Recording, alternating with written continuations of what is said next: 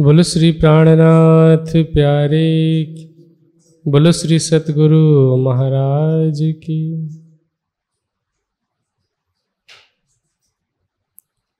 श्री महामत कहे, ए मोमिनो, ए पाती की हकीकत, अब मुकदमा कहो, फरदा रोज क्यामत। फरदा रोज क्या मत अब दिल्ली छोड़ उदयपुर, राजस्थान आए। कामा पहाड़ी से होए के, आए बीच आमेर। प्राणधार आत्म संबंधी सुंदर साथ जी। कल की चर्चा में हमने श्री जी के द्वारा भेजे गए पत्र की वास्तविकता को सुना। वैसे तो हम पिछले तीन दिन से सुन रहे थे कि श्री जी ने उन पत्रों में क्या क्या शिक्षा दी है क्या क्या सिखापन दी है। वो आज भी हमारे जीवन में कितने और कैसे सांदर्भिक हैं। अब सुंदर साथ को पत्र भेजने के बाद श्री जी ने यह निर्णय लिया कि किसी राजा को जगाने के लिए मुझे राजस्थान की ओर जाना है। उन्होंने सोचा कि यदि कोई हिंदू राजा जागृत हो जाता है, श्री प्राणनाथ जी के स्वरूप के ऊपर विश्वास ले आता है तो एकमात्र अब यही तरीका बचा है औरंगज़ेब को समझाने का, क्योंकि ज्ञान से समझाने का प्रयास करके देखा, नहीं हुआ।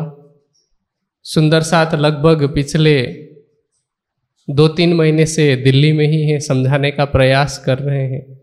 उल्टा उसके सैनिकों ने सुंदर साथ को यातना ही दी। तो श्री जी ने सोचा कि ये तो वैसे मानने वाले नहीं हैं।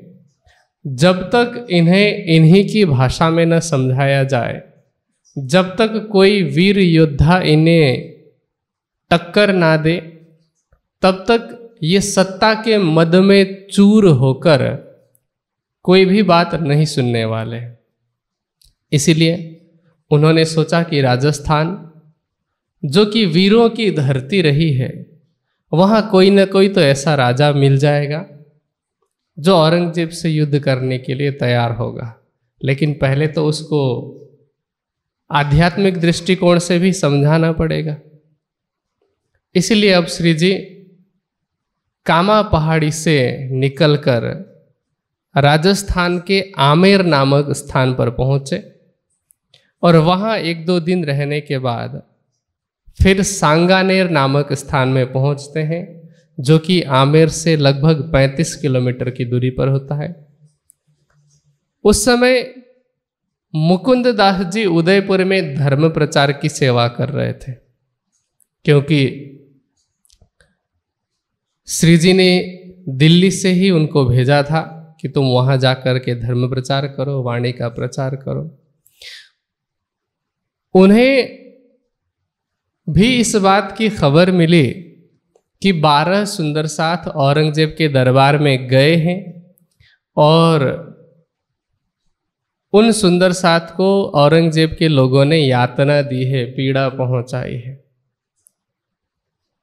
तो वहाँ से उन्हें श्री जी के राजस्थान पहुँचने की खबर का पता चला।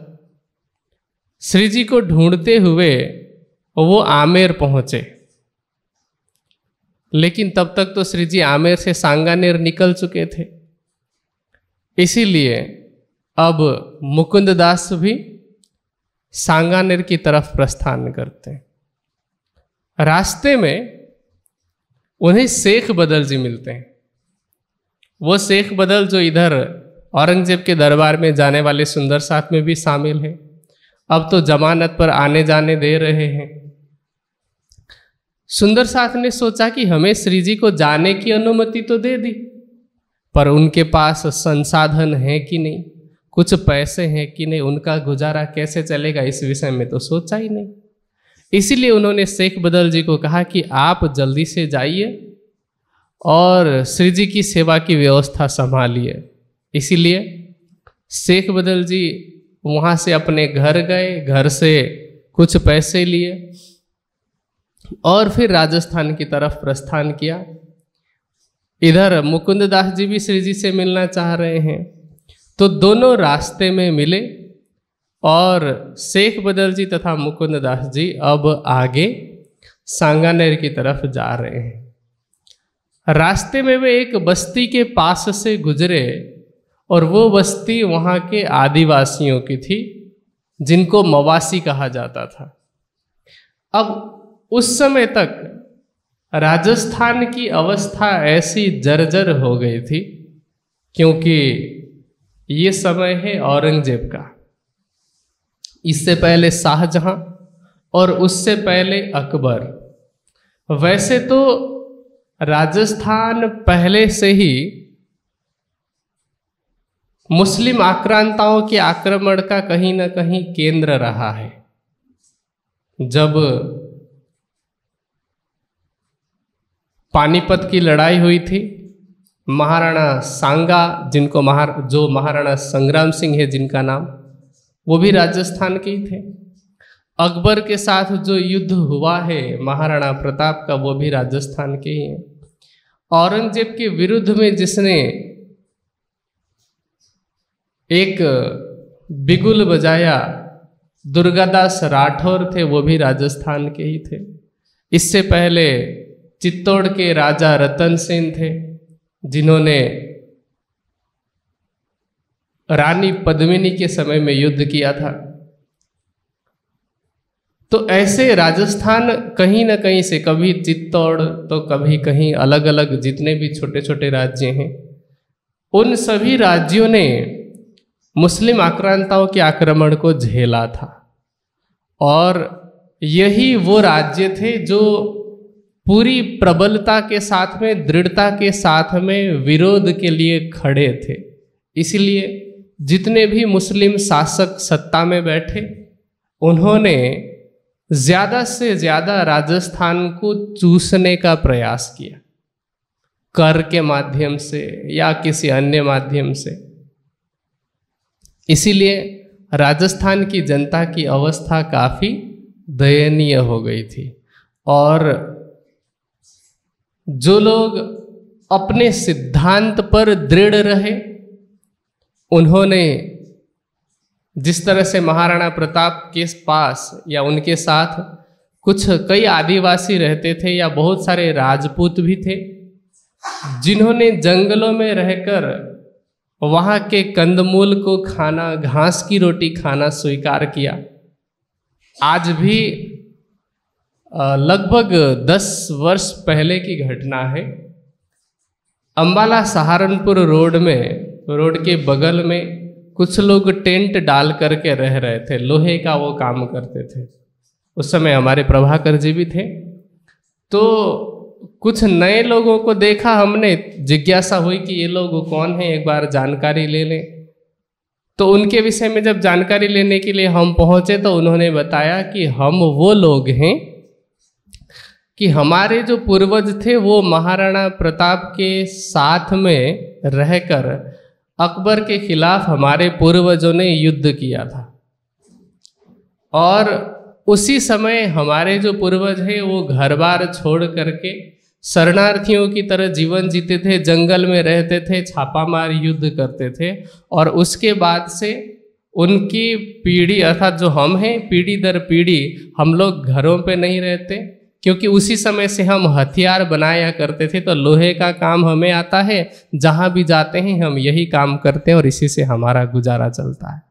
तो कुछ लोग ऐसे भी थे, लेकिन कुछ लोगों ने सोचा कि लूट मार करना एक आसान उपाय है। उन्होंने इस मार्ग को चुना। अब जो राजस्थान धर्म की रक्षा के लिए सर्वोपरि रहा, वही राजस्थान के कुछ लोग जो ये आदिवासी जैसे हैं, उन्होंने सोचा कि इनको हम लूट लें। चलिए, शेख बदल तो एक सामान्य वेशभूषा में है, पर मुकुंद दास जी तो महात्मा की वेशभूषा में रहते थे। लेकिन उन्होंने ये नहीं सोचा। इतनी सोचने समझने की जो क्षमता आती है, वो कहीं ना कहीं शिक्षा से आती है। उनके शिक्षा का स्तर बिल्कुल भी नहीं था। उनके बोध का स्तर नहीं था। उन्होंने लूटने का सोचा। और मैंने कुछ आदिवासियों के विषय में सुना है, जो राजस्थान, मध्य प्रदेश और गुजरात की सीमावर्ती क्षेत्रों में रहते हैं। उनकी एक विशेषता है, आज भी हमारे जो आचार्य हैं, आचार्य सूर्य प्रताप जी, अर्जुन जी, जिस क्षेत्र में प्रचार प्रसार करते हैं, वो काफ़ी खतरा वाला क्षेत्र है। तो हमें पता चला कि वहाँ के कुछ आदिवासी ऐसे हैं, जो जिनका, जिनकी आजीविका ही लूटमार से चलती है। और ऐसे लूटते नहीं है वो, कि हथियार लेकर के आ गए और बोला कि तुम्हारे पास जो हो दे दो और आपने दे दिया, वो लेके चले गए। वो ऐसा नहीं करते। वो मारेंगे। वो पिटाई ज़रूर करेंगे। इसका कारण क्या है? कहते हैं, हम बिना परिश्रम किए नहीं खाते। हम मारने पीटने में परिश्रम लगता है। तो इस तरह की प्रवृत्ति के वहाँ पर लुटे रहे हैं। तो उन्होंने सोचा कि ये तो हमें मार डालेंगे, केवल धन तो लेंगे नहीं। इसीलिए अब जैसे तैसे वहाँ से दोनों भागे, शेख बदल जी और मुकुंद दास जी और भागते हुए एक गाँव में पहुँचे, उस गाँव का नाम था पूर मंडल। वहाँ उन्होंने दूर से देखा कि श्रीजी साहब बैठे हुए हैं, जिनको ढूँढने के लिए निकले थे, वही सामने मिले। श्रीजी एक खाट के ऊपर बैठे हुए थे। उनके पास में छबील दास जी और मलुक चंद जी दो सुंदर साथ खड़े थे और दोनों दुखी थे। दुखी भूख के कारण, प्यास के कारण। खाने का उनके पास कुछ भी नहीं था और न ही खरीदने के लिए कुछ था। अब कहते हैं, घर में कछु न पाइए जो मगावे बाज़ार से पहचाने शेख बदलने कदमों लागे इन समय। अब शेख बदल ने श्री जी को पहचान किया और श्री जी के चरणों में प्रणाम किया। मुकुंद दास जी भी आए उन्होंने भी आके श्री जी के चरणों में प्रणाम किया। उनके पास क्योंकि वो प्रचार प्रसार के लिए जा, जाते थे अलग अलग जगहों पे चर्चा करते थे तो वहाँ लोग जो दक्षिणा के रूप में देते थे वो दक्षिणा जो उन्होंने इकट्ठी इकट्ठी की थी, चार सौ रुपये उनके पास थे। उन्होंने क्या किया बाज़ार से? जितनी भी आवश्यक वस्तुएँ थी, राशन इत्यादि, अनाज इत्यादि, अनाज, सब्ज़ियाँ, ये सब मंगा करके दे दी सब सुंदर साथ के लिए। और इस प्रकार से भोजन बना करके सब सुंदर साथ ने ग्रहण किया और भूख की निवृत्ति हुई। साथ में शेख बदल जी थे, उनके पास तीन सौ रुपये थे। वो सारे पैसे उन्होंने श्री जी के चरणों में समर्पित किया। ये एक ऐसा प्रसंग है, जो हमें विशेष रूप से दो बातों को सिखाता है। पहला, कि जिस तन में साक्षात अक्षरातीत विराजमान है वो हम सबकी जागने के लिए क्या क्या कर रहे हैं? वैसे वो चाहते, उनकी कृपा मात्र से पन्ना जी की धरती हीरा उगलने लगी थी। छत्रसाल जी को आशीर्वाद दिया कि जितने दिन भर में घोड़ा अपना जितना जहाँ जहाँ दौड़ा सकते हो, उतना दौड़ाओ। घोड़ा दौड़ा करके आए शाम तक और श्री जी ने कह दिया, जहाँ जहाँ तुम्हारे घोड़े के पैर पड़े हैं, वहाँ वहाँ से धरती हीरा उगलने लगेगी और वैसा ही हुआ। तो जिन श्री जी की कृपा से यहाँ तक संभव है, वो चाहते तो अपने चमत्कार से कुछ भी कर सकते थे, लेकिन उन्हें हम जैसे सुंदर साथ को सिखापन देना था कि जागनी केवल बड़े बड़े महलों में रहने से नहीं होगी, उसके लिए तो भिक्षा का अन्न भी स्वीकार करना पड़ सकता है, पैदल यात्रा भी करनी पड़ सकती है, भूख, प्यास सब कुछ सहन करना पड़ सकता है। किसी भी महान लक्ष्य को प्राप्त करने के लिए त्याग का सबसे बड़ा महत्व है और हमारी भारतीय परंपरा में सबसे अधिक सम्मान ही त्याग का होता है। यहाँ किसी का सम्मान ये देख करके नहीं होता कि आपके अकाउंट में कितने पैसे हैं? ये तो एक बाहरी तामझाम है। वास्तव में जो त्यागी होता है, जो सन्यासी होता है तो चक्रवर्ती सम्राट भी ऐसे सन्यासी के आने पर उठ के खड़ा हुआ करते थे। ये समाज का नियम था और आज भी ये नियम बरकरार है। आज आप यदि एक सामान्य वेशभूषा में अपनी बीएमडब्ल्यू की गाड़ी से बाहर उतरेंगे, कोई आपको आकर के प्रणाम नहीं करेगा। लेकिन आप भले ही खड़ाऊ पहने हो और साधु की वेशभूषा है केवल कटी वस्त्र भी पहना हो, ऊपर कोई वस्त्र भी ना पहना हो, केवल कमर में यदि धोती हो या फिर लंगोट मात्र भी हो, तब भी समाज आपका सम्मान करता है। वो सम्मान आपके इस लौकिक तन का नहीं है, आपके त्याग का है। और आजकल क्या होता है कि जो तथाकथित प्रचारक हैं हमारे समय में, उनमें इस बात की होड़ मची रहती है यहाँ मैं केवल निजानंद संप्रदाय के प्रचारकों की बात नहीं कर रहा हूँ। किसी भी संप्रदाय के धार्मिक सिद्धांत के जो प्रचारक हैं या जो आध्यात्मिक व्यक्तित्व कहलाते हैं, उन्होंने इस अध्यात्म को कहीं ना कहीं व्यापार बना दिया है। योग को कोई बेच रहा है, कोई ध्यान को बेच रहा है, कोई ज्ञान को बेच रहा है, शिक्षा को बेच रहा है कोई मानसिक शांति के नाम पे किसी चीज़ का व्यापार कर रहा है? वास्तव में ये चीज़ तो व्यापार के है ही नहीं, लेकिन आज सबसे बड़ा व्यापार अध्यात्म हो गया है। कैसे? ऐसा लगता है कि इसमें इन्वेस्टमेंट बहुत कम है, या फिर बिना इन्वेस्टमेंट के शुरू की जा सकती है। आप 10-15 दिन तक 20-25 कहानियाँ पढ़ लीजिए दो चार श्लोक याद कर लीजिए और भागवत करने बैठ जाइए। आप हो गए बड़े प्रचारक। आपने क्या इन्वेस्ट किया? कुछ नहीं। और कमाई कितनी होती है कि आपके उस कमाई को एक व्यक्ति की कमाई को मैनेज करने के लिए अलग से सीए भी रखना पड़ता है मैनेजर रखना पड़ता है। तो श्री जी, ऐसे सभी लोगों को शिक्षा दे रहे हैं कि अध्यात्म का प्रचार त्याग से ही संभव है। ये पहला। दूसरी बात कि यहाँ दो लोग हैं। एक है शेख बदल और एक है मुकुंद दास जी। उनके प्रसंग को लेकर के भी दो अलग अलग बातें हम सीखते हैं। पहला, यदि हम उन दोनों में तुलना करते हैं, शेख बदल जी गृहस्थी होते हुए भी, उन्होंने उनके पास जो कुछ भी था, वो सारा श्री जी के चरणों में सेवा हेतु समर्पित कर दिया। और मुकुंद दास जी, वे गृहस्थ नहीं है। वो तो साधु हैं, विरक्त हैं।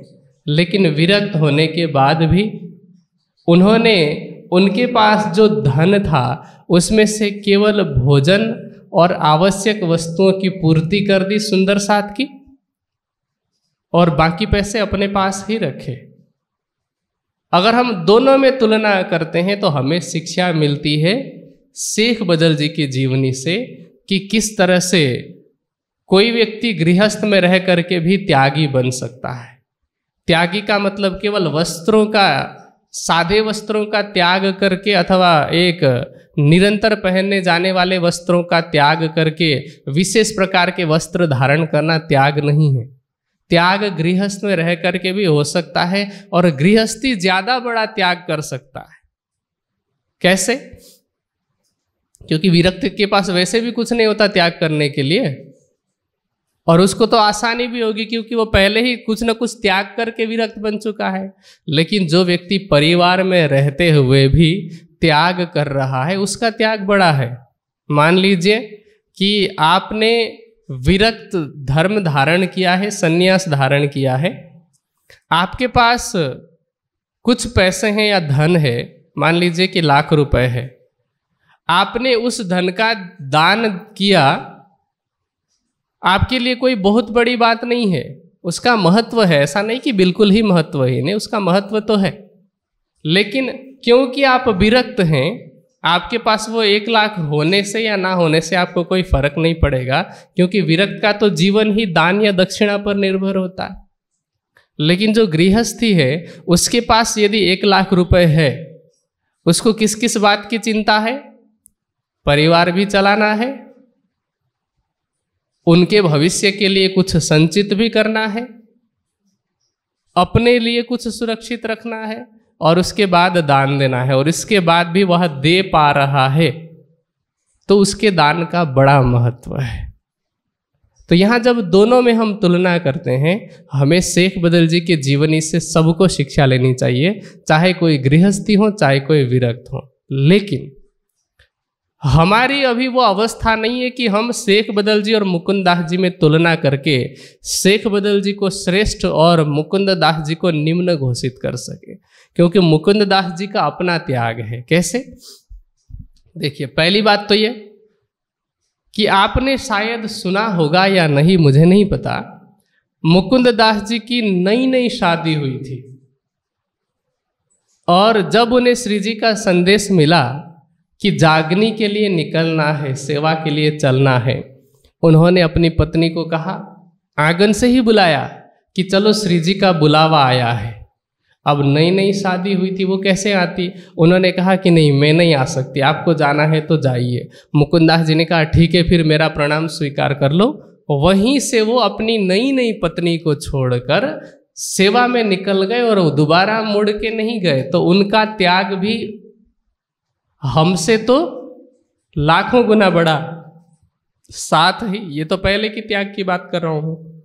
यहाँ भी दोनों के प्रसंग में भी हम देखें, उनके पास यदि चार सौ रुपये थे, उन्होंने चार लोगों की, पाँच लोगों की व्यवस्था में चार रुपए तो खर्च किए होंगे, उस समय साढ़े तीन सौ वर्ष पहले। चार रुपए तो कम से कम खर्च किए होंगे श्री जी की व्यवस्था करनी है। मलुक चंद की, छबील दास की और शेख बदल जी की, साथ में स्वयं की भी। तो सेवा में उन्होंने चार रुपए तो लगाया होगा। इस हिसाब से भी यदि हम देखते हैं तो एक प्रतिशत उन्होंने अपना सेवा में दे दिया। क्या हम में से प्रत्येक सुंदर साथ अपनी आय का एक प्रतिशत सेवा में देता है? निरंतर रूप से। तो इसलिए हम उन दोनों में भी तुलना नहीं कर सकते। हमें ये देखना चाहिए कि क्या हमारे अंदर मुकुंद दास जी जैसा त्याग है। यदि नहीं है तो वो गुण विकसित करने की आवश्यकता है, क्योंकि श्री जी ने हमें त्यागमयी जीवन के लिए प्रबोधित किया, उन्होंने सिखापन दी है। अब ये भोजन की व्यवस्था हो गई। सब सुंदर साथ ने भोजन ग्रहण किया। रात के समय श्री जी के साथ बैठ करके निर्णय विचार विमर्श किया। मुकुंद दास जी को इस बात को सुनकर के बहुत दुख हुआ कि सुंदर साथ औरंगज़ेब के दरबार में गए थे और सुंदर साथ के साथ में उन, उनके लोगों ने दुर्व्यवहार किया गलत व्यवहार किया। उन्होंने सोचा कि देखते हैं श्री जी क्या कहते हैं इस संदर्भ में। श्री जी ने कहा कि अब मैं इन्हें छोड़ने वाला नहीं हूँ। ज्ञान से समझाया ये नहीं समझे, अब इनके लिए मुझे भले ही कोई दूसरा उपाय करना पड़े, पर मैं दूसरा उपाय करूँगा। और इनका जो अत्याचार है, क्योंकि हिंदुओं पर जो अत्याचार हो रहा था उस समय, धर्म के नाम पे, एक तो मंदिर इत्यादि तोड़ना, धर्म के नाम पर हत्याएँ करना, इसी तरह से विभिन्न प्रकार के कर लगाना चाहे वो जजिया कर हो, चाहे अन्य कर हो। तो इसीलिए श्री जी ने कहा कि अब इनके अत्याचार को मैं दूसरे उपायों से समाप्त कर दूँगा। मुकुंदास जी ने श्री जी की हिम्मत को देखा और श्री जी को पूछा कि अब आप कहाँ जाएँगे? श्री जी ने कहा कि देखते हैं अभी, विचार करेंगे कहाँ जाना है। मुकुंदास जी अब उपाय बताने लग गए श्री जी को कि श्री जी साहेब, यहाँ आसपास में एक संप्रदाय का प्रचार प्रसार बहुत है, उसका बहुत बोलबाला है, उसको जरगा पंथ कहा जाता है। उनके जो गुरु हैं, उनका नाम लाधु मसानी है। ये वैसे धनी बाबा का पंथ कहलाता है। धनी बाबा से इस मत की शुरुआत हुई है। और विशेष बात इसमें यह है कि इनके ग्रंथों में, इनके साहित्य में हमारे संदर्भ में, हमारे विषय में बहुत सारी साक्षियाँ, साखियाँ इत्यादि मिलती है। तो श्री जी ने कहा अच्छा ठीक है। आप जाइए, आप जा कर के उनको जगाने का प्रयास कीजिए। देखें कि वो समझते हैं कि नहीं समझते।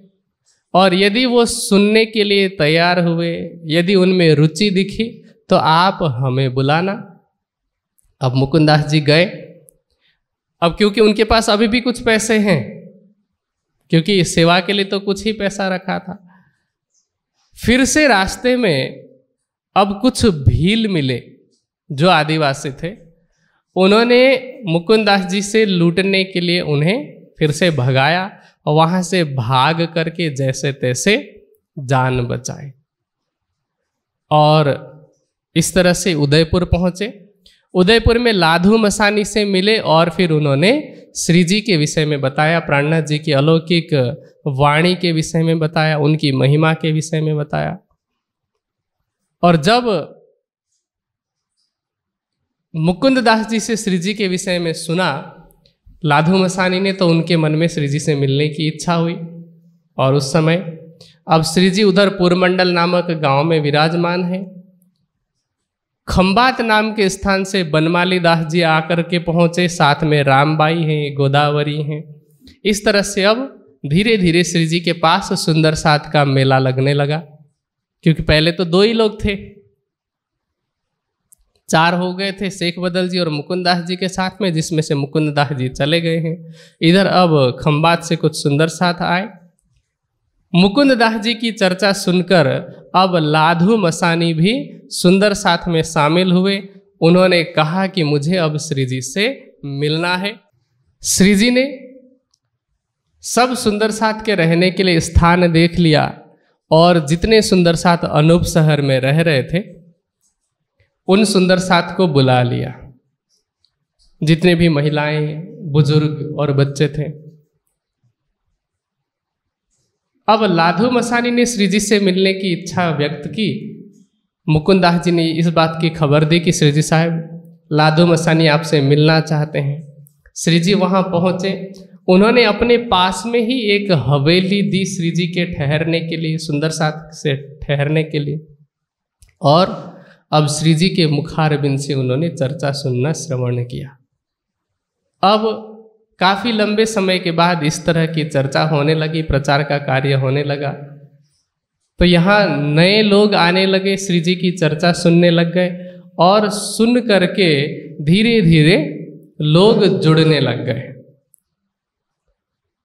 और श्री जी की चर्चा का सब पर इतना प्रभाव पड़ा कि सब आनंदित हो गए। पहले का जो दुख था, वह दुख भी समाप्त हो गया। श्री जी जिस हवेली में रह रहे थे, वहाँ पास की हवेली में दो राजपूत रहा करते थे, जो अपने घर में बैठे बैठे श्री जी की चर्चा सुनते थे। सोचे कितनी बुलंद आवाज़ होगी श्री जी की। आज हमें तो माइक लगाना पड़ता है, थोड़ी देर के लिए लाइट चली जाए और इतने सुंदर साथ के बीच में बोलना पड़ जाए आधे घंटे के लिए तो हमारा गला बैठ जाता है। श्री जी पन्ना जी में भी हैं तो दस साल तक की जीवनी आप देखेंगे।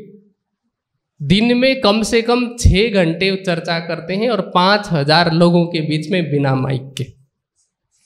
तो श्री जी चर्चा करते हैं, पास की हवेली में से दो राजपूत अपने घर में बैठे बैठे चर्चा सुनते हैं।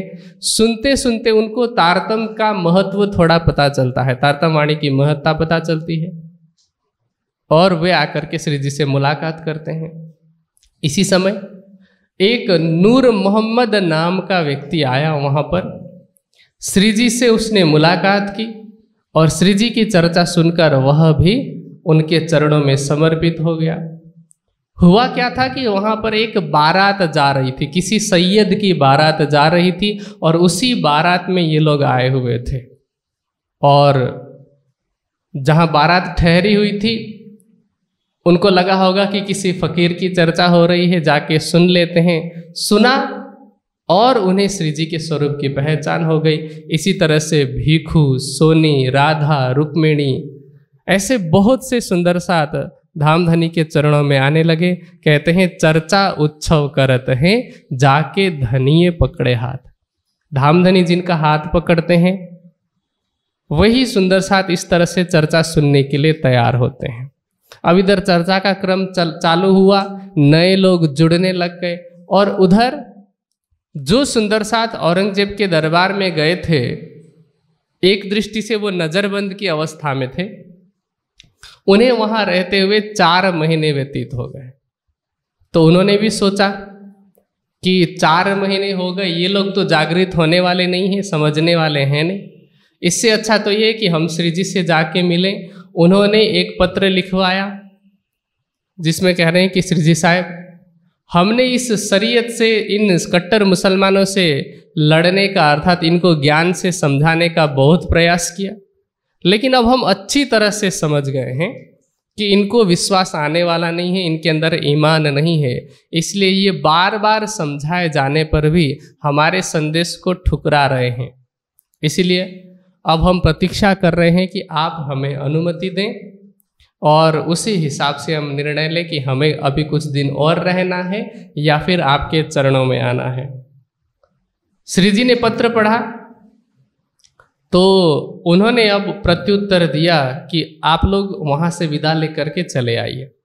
जब इन पर परमात्मा की तरफ़ से सोटे पड़ेंगे मतलब एक अंग्रेज़ी में कहावत है taste of their own medicine जैसा व्यवहार ये करते हैं अपनी सत्ता के मद में ये मस्त है, कोई इनसे बड़ा ताकतवर मिलेगा, कोई बड़ा सत्ताधारी मिलेगा, जैसे कहते हैं ना, हर शेर को कभी ना कभी सवा शेर मिलता है।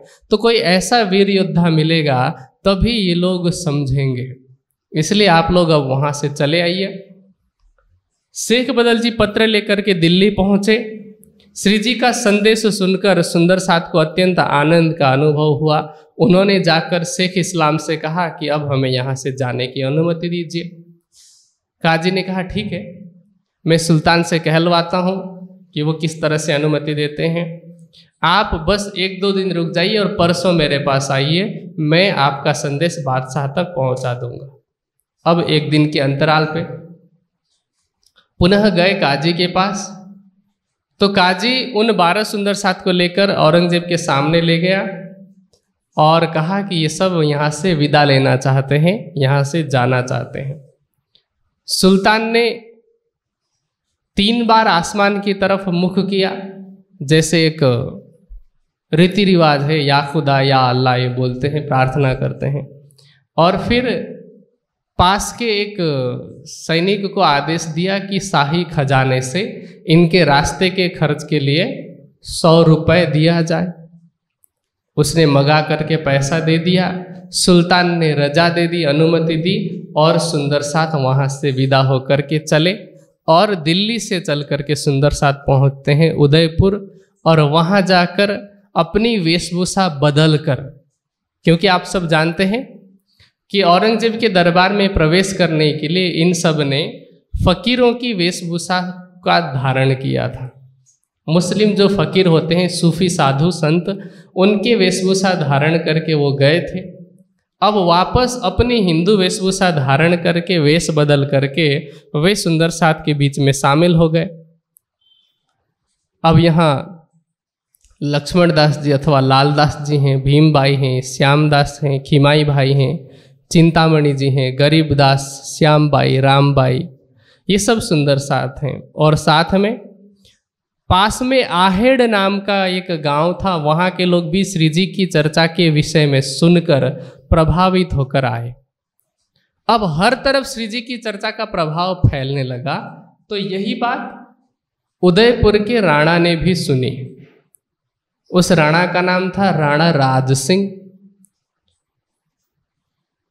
तो राजा ने भी जब सुनी तो उसने जानकारी लेने की कोशिश की कि ये किसकी बात हो रही है कैसे को, कौन से साधु आ गए हैं। तो जब पता लगाने की कोशिश की कोई कहता है कि कोई कहे बड़े साध है इनके अनंत लोचन। कोई स्तुति करता है कोई निंदा करता है। जो स्तुति करते वो कहते हैं कि वो बहुत बड़े साधु हैं। इनके अनंत लोचन लोचन कहते हैं आँख को। अर्थात इनकी ज्ञान की अनंत दृष्टि है। और कोई कहता है कि ये तो ठग है। कोई कहे, ये ठग है। इनो भेख धरा मोमिन। इन्होंने तो केवल दिखावे के लिए ब्रह्म मुनियों का वेश धारण कर रखा है। और ये दो तरफा बात करने वाले लोग कौन हैं? एक जिन्होंने कभी न कभी श्री जी की चर्चा सुनी है और समझने का प्रयास किया है, वो स्तुति करते हैं। और श्री जी की अलौकिक चर्चा को सुनकर जिन जिन लोगों की दुकान बंद होती जाती है, वे निंदा करते हैं कि इनकी वजह से लोगों ने हमारे यहाँ आना छोड़ दिया। या जो लोग जाते भी थे इन लोगों के पास तो क्या करते थे? श्री जी की चर्चा में जो बात सुनी होती थी, उसके आधार पर प्रश्न बनाकर पूछते थे। कभी भागवत के प्रश्न पूछ रहे हैं, कभी वेदांत के पूछ रहे हैं। तो इसलिए उन लोगों ने निंदा करना ही उचित समझा। क्योंकि जो व्यक्ति जिसके गुणों को नहीं समझता है, वह निंदा ही करता है। चाणक्य कहते हैं कि न वेत्ति यो यस्य गुण प्रकर्षम, स तस्य निंदा सततम करोति। यथा किराती करिकुंभ जाता, मुक्ता परित्यज्य विभरति गुंजा।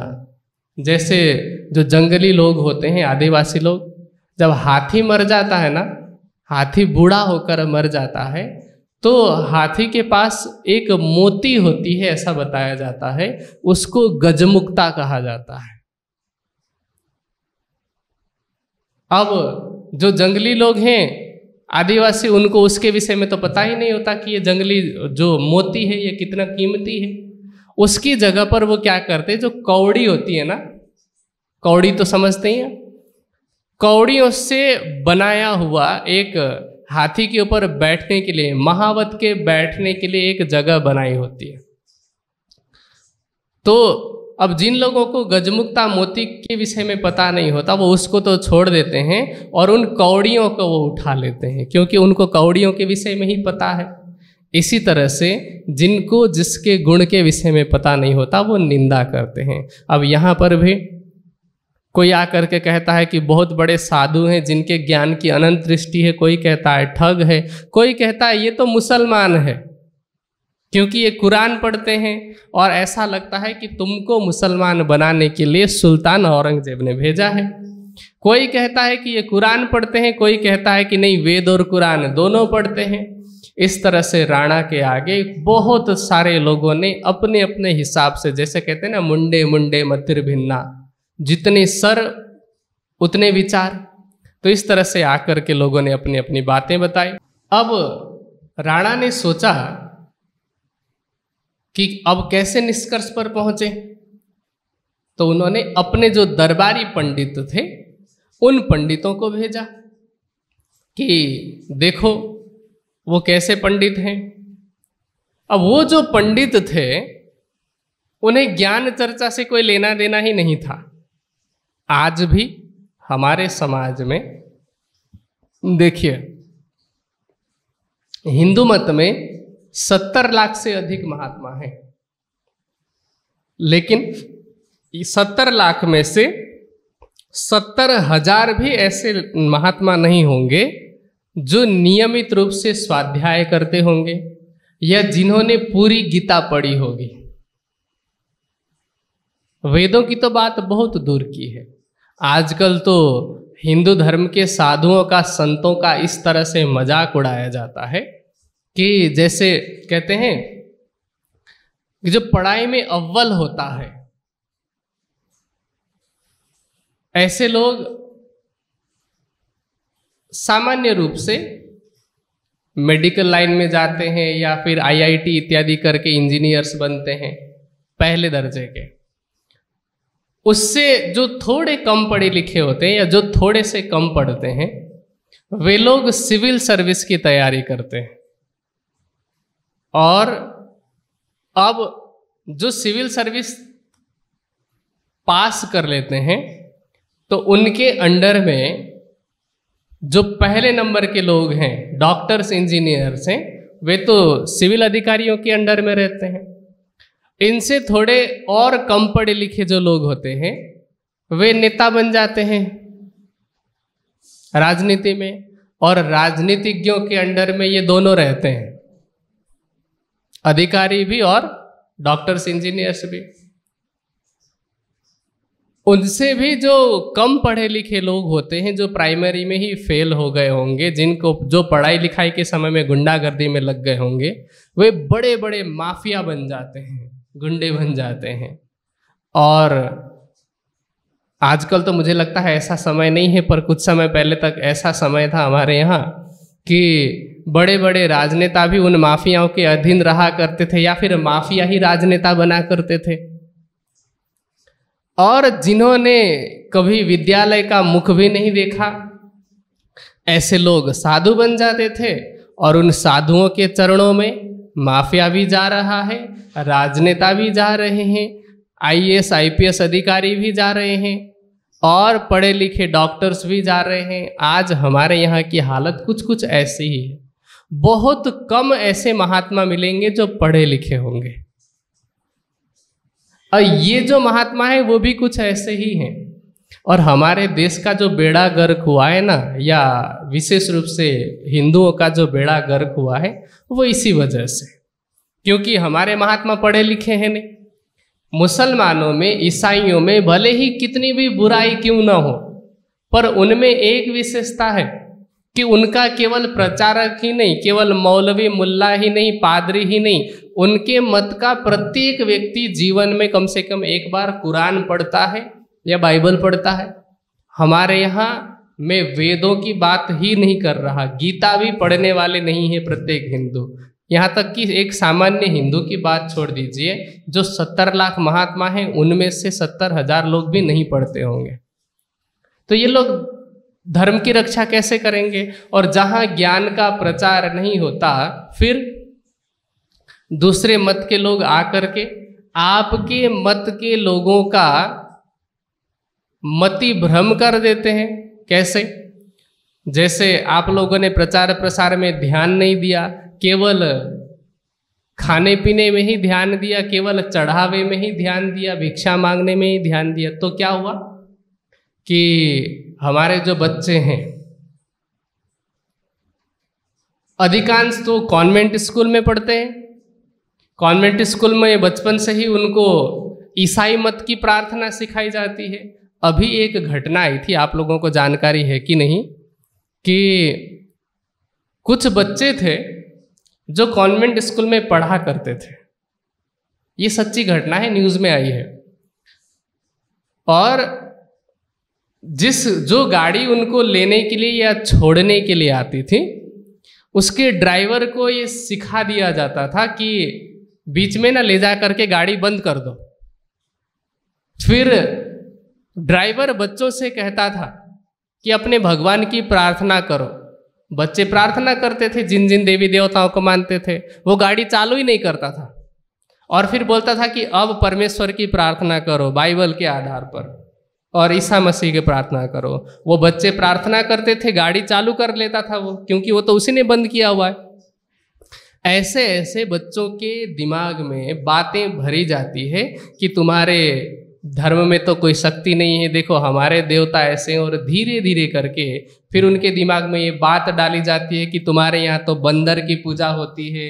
तुम्हारे यहाँ जिस शिव की पूजा करते, देखो, उनको अपने बेटे की पहचान नहीं है। अपने बेटे का वो सिर काट रहे हैं। तुम जिस भगवान को मानते वो तो देखो, मैल से बने हुए हैं। ऐसी ऐसी बात करके ऐसे ऐसे प्रश्न करके आजकल बच्चों को बता, बहलाया जाता है। और पहले भी क्यों ना? क्योंकि हमारे यहाँ, हमारे जो हिंदू धर्म के, जो धर्म के ठेकेदार थे, उन्होंने अपना ठेका का काम ढंग से किया नहीं।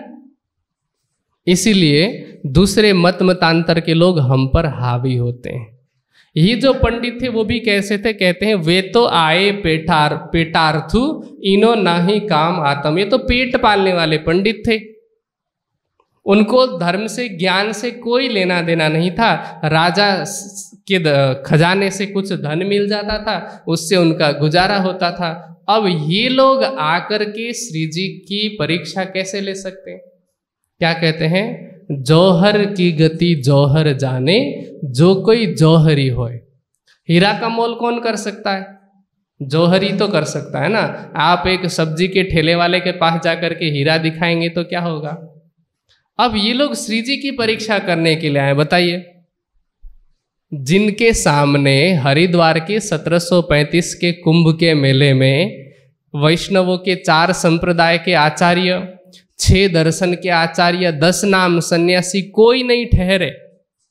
चिंतामणि जी जैसे भीम भाई श्याम भट्ट जैसे वेदांत और भागवत के विद्वान नहीं ठहरे। और ये पंडित जिन्होंने कभी धर्म ग्रंथ खोल के नहीं देखा होगा, थोड़े बहुत श्लोक जो परंपरागत रूप से पिताजी से याद कर लिए होंगे, ऐसे पंडित श्री जी की परीक्षा लेने आए। अब इन्होंने श्री जी से थोड़ी चर्चा की, श्री जी ने कुछ प्रश्न पूछ दिए। भागवत के चालीस प्रश्नों में से कुछ प्रश्न पूछे, वेदांत के पंद्रह प्रश्न को पूछा, और श्री जी ने कहा कि इन प्रश्नों का उत्तर हमें दे दीजिए। अब जवाब आया नहीं तो क्या करेंगे? अंगूर खट्टे हैं वाली कहावत तो आपने सुनी ही है। तो इन्होंने राजा से जाकर कह दिया, अंगूर खट्टे हैं। कहते हैं, ये तो बुरे बैरागी, हमारा भानेंगे रोज़गार। पहले तो ये आपस में विचार विमर्श कर रहे हैं, जितने पंडित गए हुए थे, कह रहे ये बुरे ये बैरागी तो अच्छे नहीं है।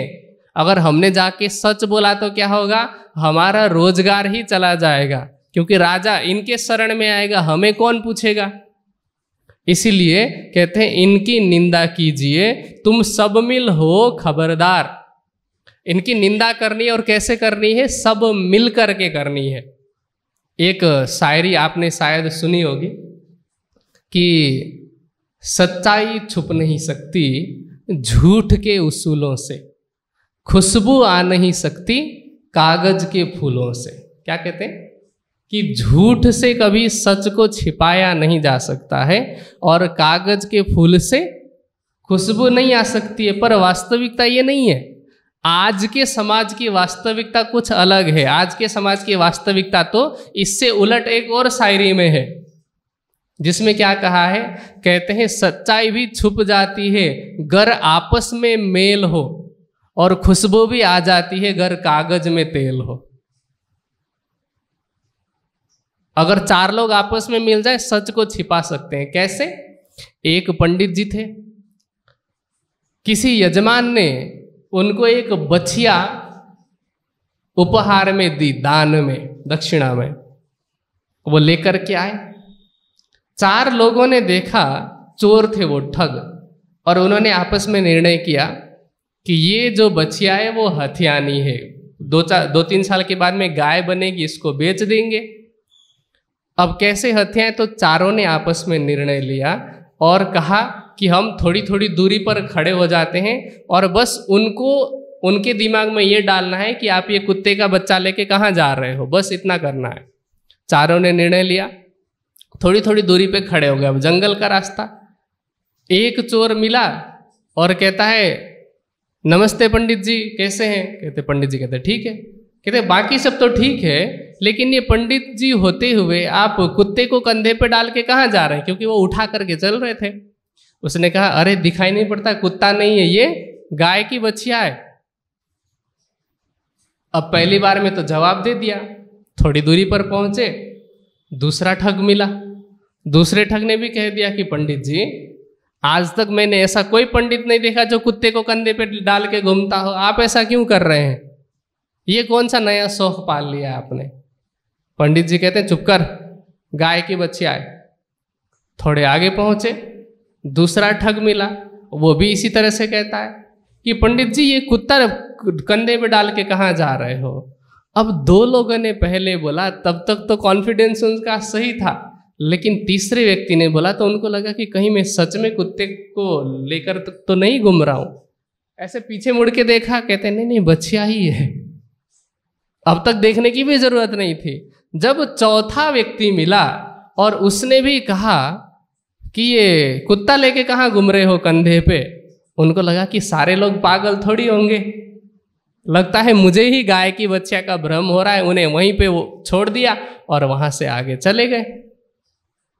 ये बड़बड़ाते हुए कि देखो आजकल के कैसे कैसे यजमान हैं, पंडित को ठग लेते हैं, बच्चिया बोलकर कुत्ता पकड़ा देते हैं।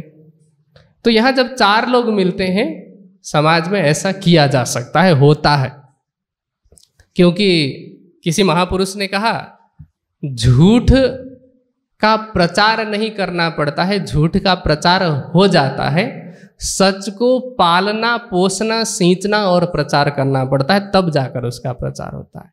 अब इन्होंने आपस में निर्णय लिया, विचार विमर्श किया और जाकर के राजा के सामने निंदा करने लग गए। तो इस संदर्भ में श्री लालदास जी ने दो तीन उदाहरण दिए कि ये जो पंडित हैं, ये ब्राह्मण हैं, कैसे वाले पंडित हैं? किसी जाति विशेष की बात नहीं कर रहे हैं, पर पंडितों में भी ये वैसे वाले पंडित हैं कि इनका जो, इनके जो पूर्वज हैं, वो ब्रह्मा है। और ब्रह्मा ने क्या किया था? जब श्री कृष्ण जी गर्भ में थे तब तो उन्होंने स्तुति करी कि देखो इस गर्भ में परमात्मा आने वाले हैं। परमात्मा गर्भ में नहीं आता, पर उसी कृष्ण के तन में परमात्मा की लीला होने वाली है। तो इसलिए उन्होंने स्तुति की थी, लेकिन जब वही कृष्ण पैदा हुए तो परीक्षा लेने चले गए। गर्भ में स्तुति की और बाहर आकर के उन्होंने गलती कर दी जन्म लेने के बाद में। दूसरे इनके पूर्वज कौन है? कहते हैं, ब्रजमंडल में कुछ ऋषि थे, जो यज्ञ की कर रहे थे। कृष्ण जी उन कर्मकांडी ब्राह्मणों के पास गए और जाकर के खाने के लिए कुछ मांगा तो डांट के भगा दिया।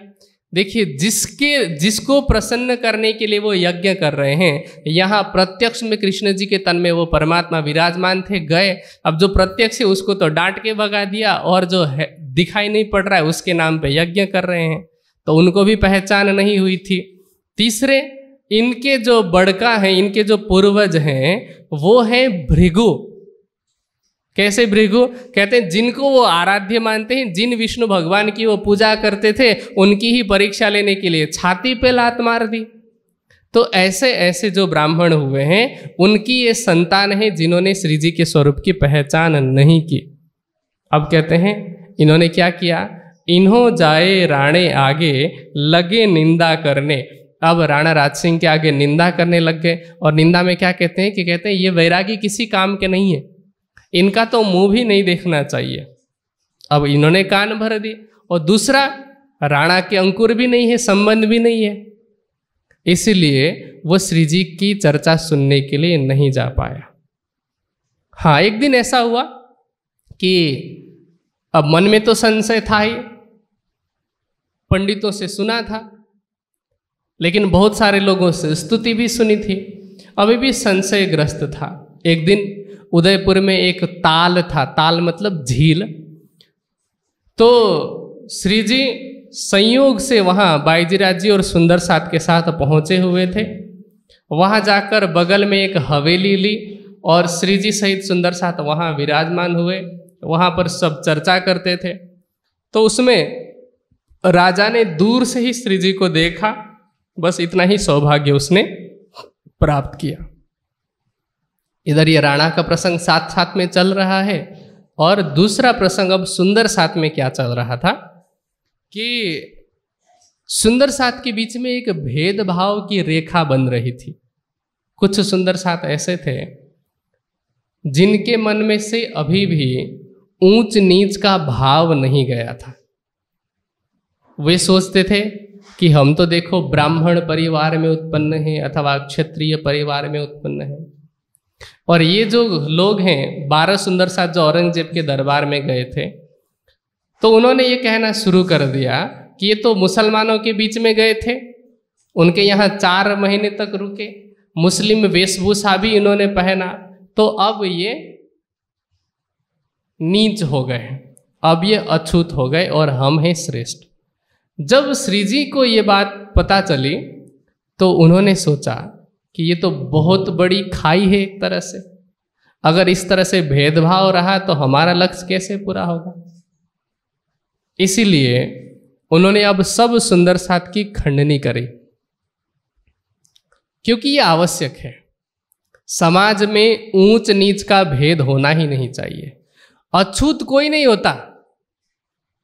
वैसे अछूत का शाब्दिक अर्थ क्या होता है? जिनको छूना नहीं चाहिए। जिनको छूने से कोई नुकसान होता है या छूना नहीं चाहिए, पाप लगता है, ऐसा कह सकते हैं।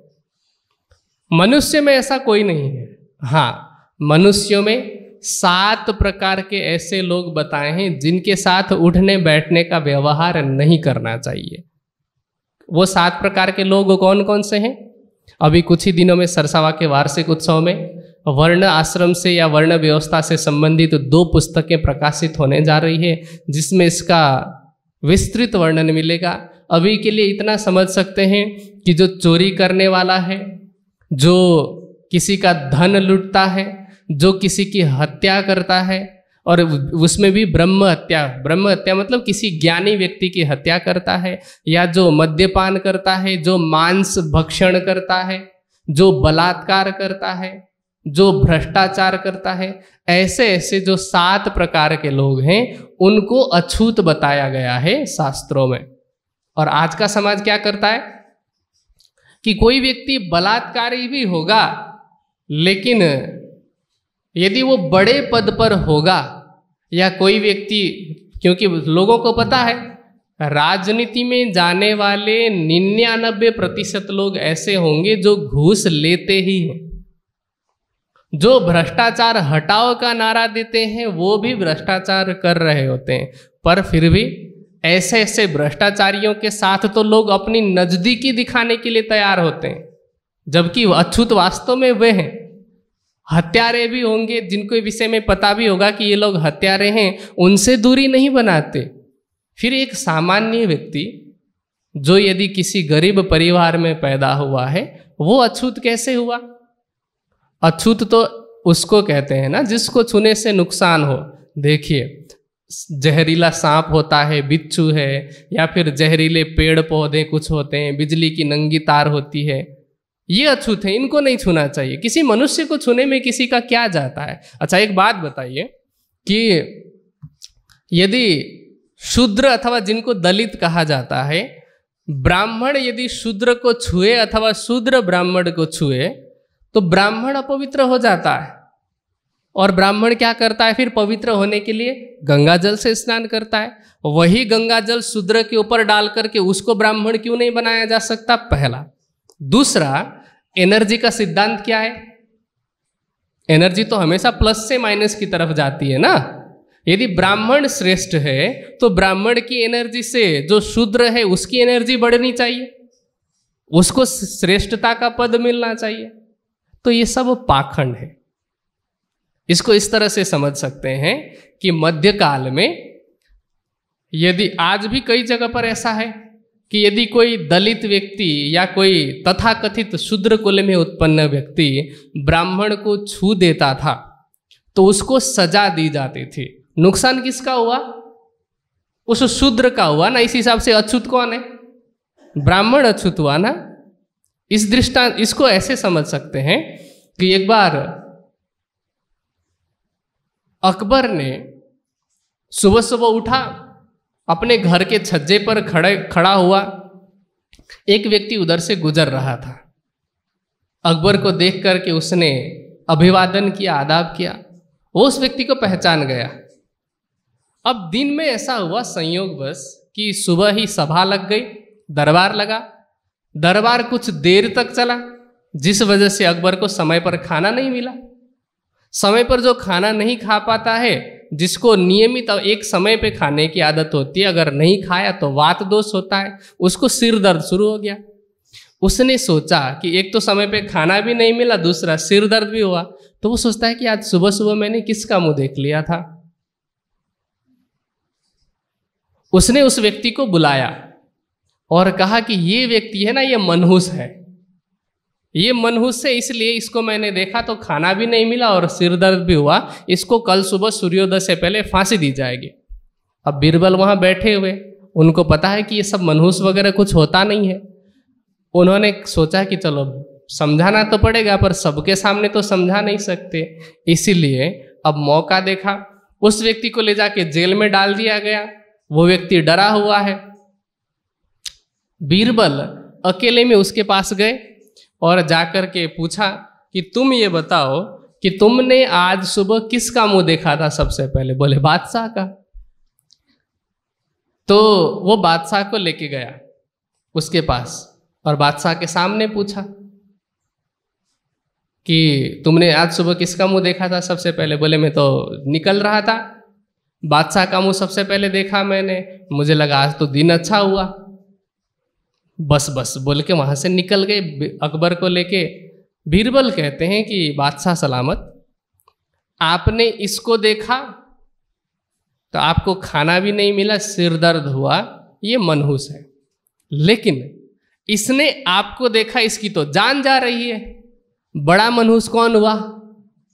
बड़ा मनहूस तो आप हुए। अब अकबर समझ गया कि बीरबल क्या बताना चाह रहे हैं। बीरबल ने कहा कि महाराज, ये केवल संयोग है, एक कोइंसिडेंस है। संयोग एक बार ही नहीं, कितनी भी बार हो सकता है, पर यह केवल संयोग है और कुछ संयोग ऐसे होते हैं जहाँ से अंधविश्वास पनपते हैं। तो वास्तव में अछूत कोई नहीं होता। जो अछूत होते हैं, उनके विषय में मैंने बताया। समाज उनको तो अछूत नहीं मानता, उनसे दूरी नहीं बनाता। ऐसे जो घूस खाकर किसी का धन लूट के, चोरी डकैती से अमीर बने होते हैं, लोग अमीरों से तो अपना नज़दीकी से नज़दीकी रिश्ता बताने की कोशिश करते हैं। और कहीं दूर का भी रिश्ता होगा ना, वो खोद के निकालेंगे कि अरे, ये ये तो हमारे फलाने के फलाने के फलाने पूरा पेज भर जाता है। और कोई गरीब व्यक्ति होता है नज़दीकी रिश्ते में भी होता है, तब भी उससे बचने की कोशिश करते हैं तो समाज ऐसा ही है। अछूत के संदर्भ में भी ऐसी बात है। अब सुंदर साथ के मन में ये भावना कहीं ना कहीं बन रही थी कुछ लोगों के मन में। श्री जी ने कहा, नहीं, ये तो घातक हो सकता है संगठन के लिए, मिशन लक्ष्य के लिए। उन्होंने सबकी खंडनी करी और क्या किया? भेख बदलाए सबन के, श्रवणी पहनाई कानन। अब सब सुंदर साथ का वेश बदल दिया। सबको कान में श्रवणी पहनाई, बाली। ऐसा क्यों? वेश बदलाने का कारण क्या? जैसे आप किसी भी स्कूल में जाते हैं, वहाँ करोड़पति का बच्चा भी हो सकता है और कोई मध्यम वर्गीय परिवार का भी हो सकता है। लेकिन स्कूल में भेदभाव क्यों नहीं होता विद्यार्थियों में आपस में? क्योंकि वहाँ ड्रेस कोड एक जैसा होता है। इसीलिए श्री जी ने सोचा कि सबकी वेशभूषा एक जैसी कर दी जाए। अब सबको फकीरों वाली, साधुओं वाली वेशभूषा पहनाई। सबका मुंडन कराया। अब कोई देख करके नहीं कह सकता कि ये ब्राह्मण है कि क्षत्रिय है, कि वैश्य है, कि शूद्र है। सबका मुंडन करा रखा है। सबको कान में श्रवणी पहना रखी है और साधुओं वाली जितनी भी वेशभूषा खड़ाऊ पहननी है या जो कुछ भी वो धारण कर रखा है। उसमें कहते हैं, कुछ सुंदर साथ ऐसे हैं रोए धोए राज़ी भय। क्योंकि सब लोगों को मान लीजिए कि यहाँ पर भी जितने भी विद्यार्थी भी बैठे हैं, सबको कह दिया जाए कि कल सुबह सबका मुंडन किया जाएगा। कुछ लोगों को नहीं, मोह नहीं है बालों से, और कुछ लोग बालों से ही अपनी सुंदरता समझते हैं। तो जिनको मोह है, वो सोचेंगे कि अरे, नियम है, करना तो पड़ेगा। तो इसको कहेंगे रोए धोए राजीव भाई और कुछ को है कि क्या है, बाल मैल ही तो है। अभी काट देंगे एक दो, एक डेढ़ महीने में, फिर से आ जाएँगे। ऐसे लोग कहते हैं, नाच कूद होए, खुशहाल, काढ़े अपने अवगुण। और इन सबने ये जो भेदभाव रूपी अपने अपने अवगुण थे, उन सभी अवगुणों को निकाला। ले जबराइल संगहाल जबराइल अर्थात जोश। अपने हृदय में जोश भर के श्री जी की आज्ञा का पालन करते हुए सबने फकीरों वाली, साधुओं वाली वेशभूषा धारण की। अब आगे वो साधुओं की वेशभूषा कौन कौन सी थी, जिसमें उन्होंने कंठी भी धारण कर रखी है, चंदन भी धारण कर रखी है, सेली है, हाथ में सुमरनी छोटी छोटी माला है। श्री जी ने ये पहना है।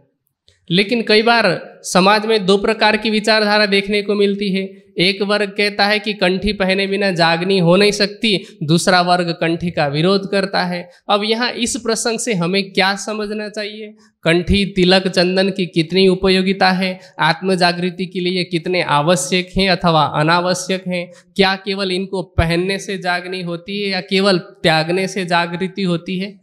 इन सभी विषयों में चर्चा सुनेंगे हम कल। अभी के लिए समय पूरा होता है, चौपाई दोहराइए। रोए धोए राज़ी भय नाच कूद होए खुशाल।